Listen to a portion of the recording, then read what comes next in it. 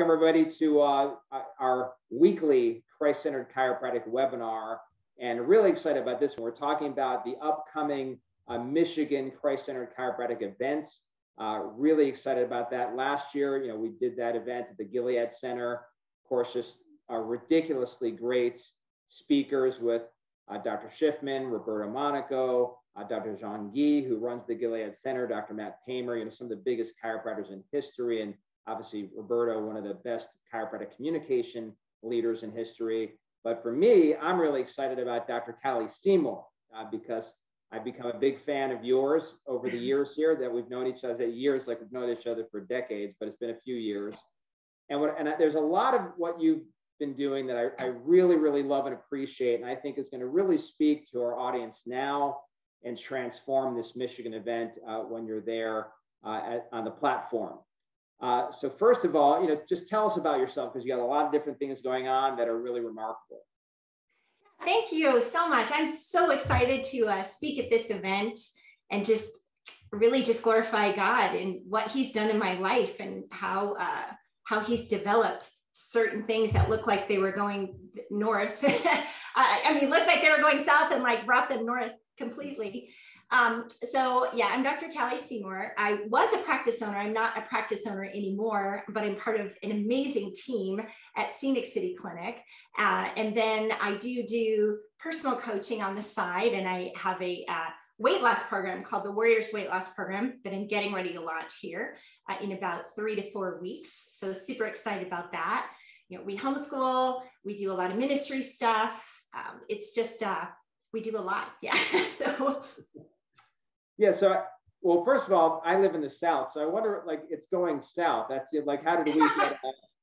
how do we get connected to when things are going bad? They're coming to Florida. You know, Florida, I think, is a good place to be, especially right now.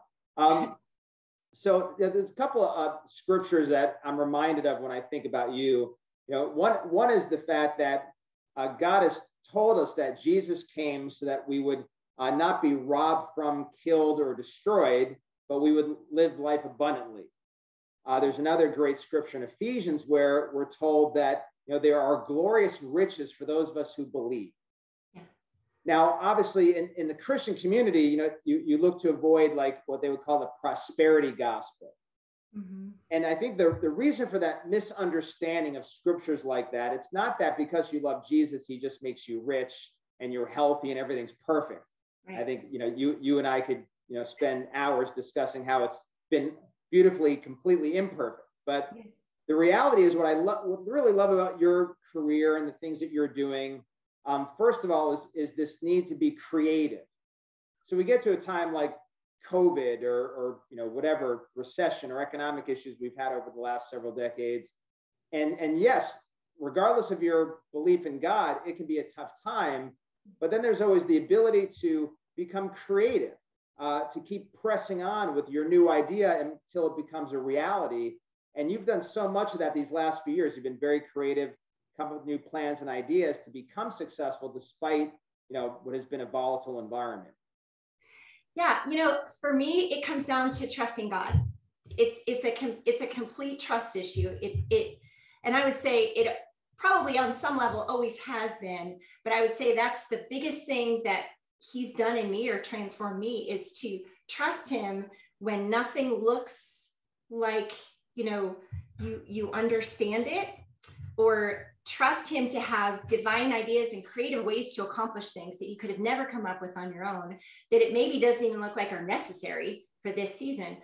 And and just getting comfortable a little bit more comfortable with the unknown the part that you don't know you know and just taking that next step of obedience or that faith step or, or whatever, and just watching what he does with that.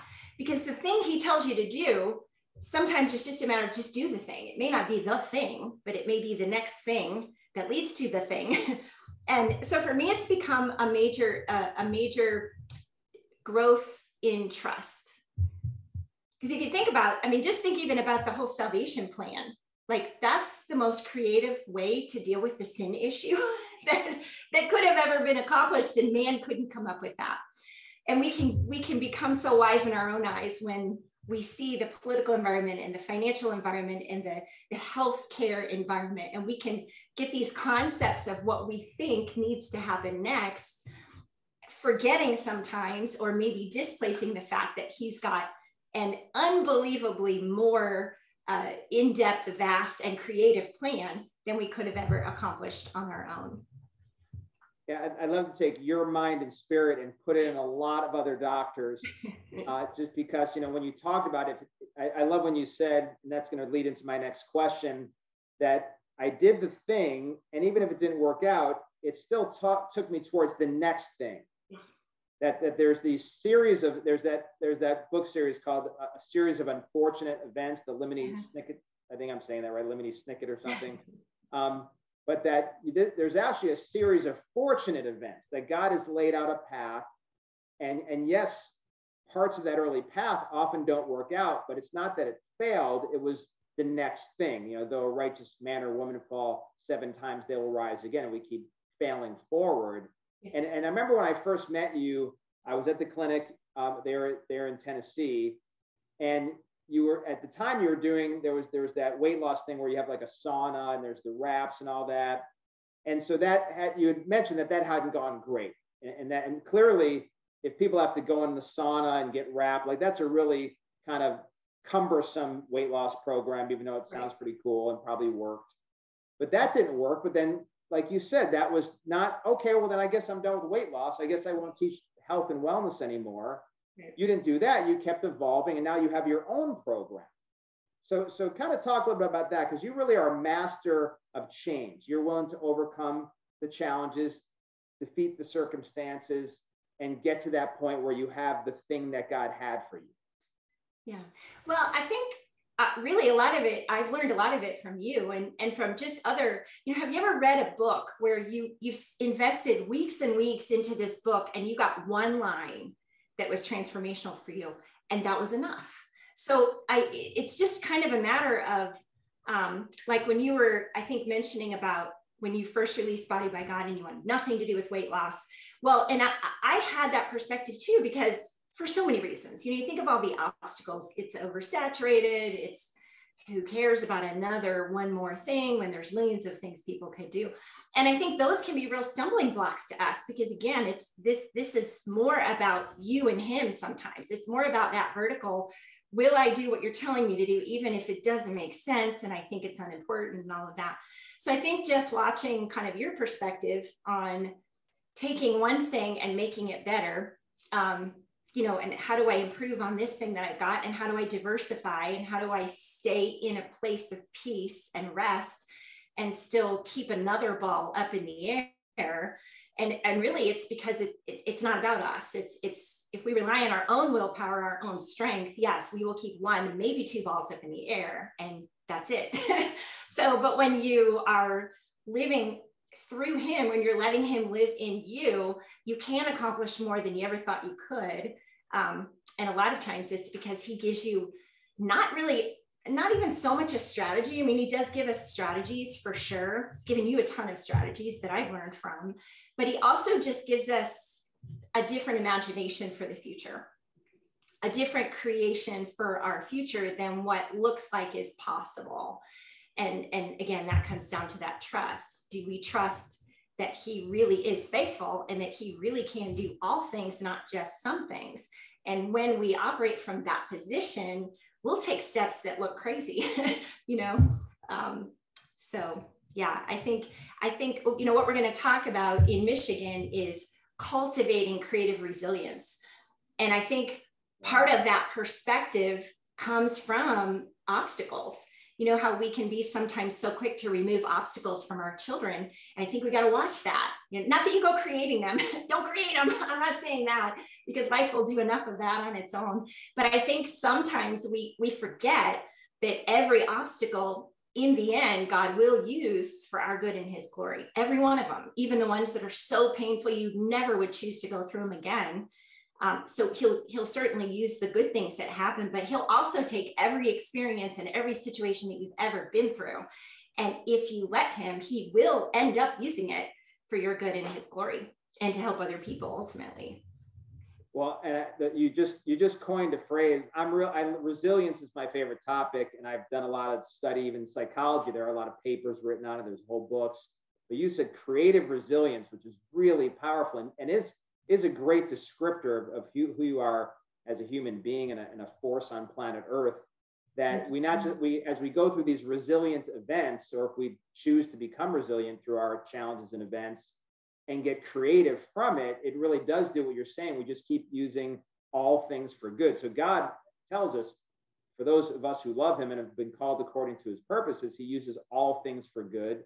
Um, I pray that for my kids every day before they leave the house. That anything you've been through to this, up to this point and everything you'll experience today is going to be used for your good and for God's glory, as you also mentioned, for you achieving your purposes and fulfilling your destiny that that is the process and it really is this creative resilience getting more and more creative regardless of what gets thrown in your path because you know, I know you've been through a lot of things like all the successes you have it'd be great to say oh look how successful Dr. Cally is but you know there's been a lot in your path that could have easily gotten you to say okay I'm done or I guess that didn't work or I guess that's impossible. You know that's the opposite of creative resilience is just to decide the obstacles are actually stopping you or maybe even indication from god to not do it anymore. Yeah.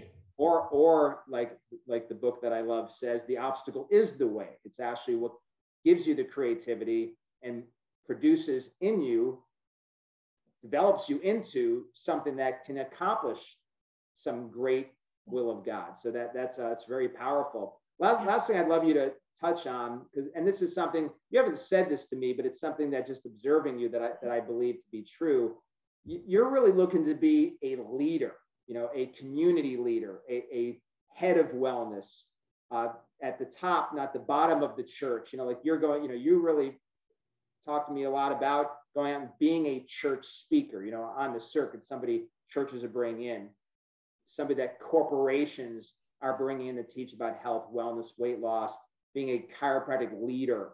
And, and that is another mindset. And you have this very powerful mindset, enormous faith, and a great spirit. And that's why you're continuing to achieve and achieve and achieve and create and create. So, so what, what is that like? That's a distinction, right? Like, you know, you do a lot of coaching. There are people like, I'm just going to do stuff. Or that there are those that say, I'm going to lead stuff. I'm going to be in charge and get out there and be a respected person in, in my field. Uh, you know, tell us a little bit about that.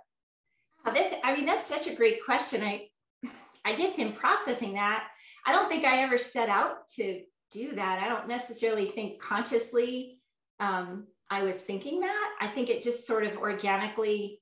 I I love to help people believe for bigger and better. Um, I love to show people, hey, this is the way. Go this way. So I guess in light of that, sure, that that's leadership. But it's more like I, I mean, never desired to like get up and like be the front person kind of thing. I guess that's not a big desire. Um, but I want to see people free.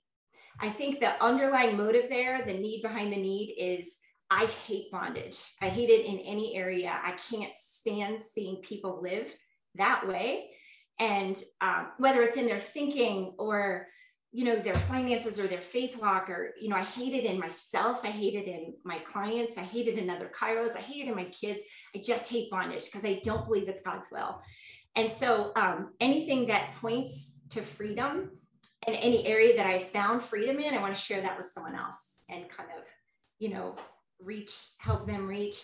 And i think ultimately when that started really uh, i lost my brother to suicide and I remember my first prayer at that point was to make the enemy pay for taking him. Like, use me, whatever you're going to do through him, do 10 times that through me. And don't let me quit until that happens. So I think part of it is righteous anger. you know, if I had to look at it honestly, that's probably what, part A, you know, that's whatever it takes, whatever it takes. yeah. No, I just can't stand um, people living in anything less than what Christ has for them. So. Wow, that's really good. That's, that's so good. Yeah, yeah, and again, like I said, truly whatever it takes. I've got some very successful people that they're competitive.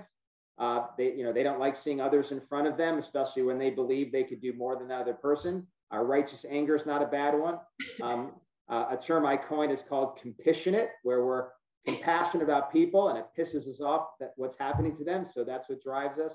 I love that. Yep. Yeah. But they, so thank you for sharing. This this is really powerful. Just you know, again, I, am not surprised that what's going on in your mind is a real indicator of uh, why you're so successful, and just you just keep going.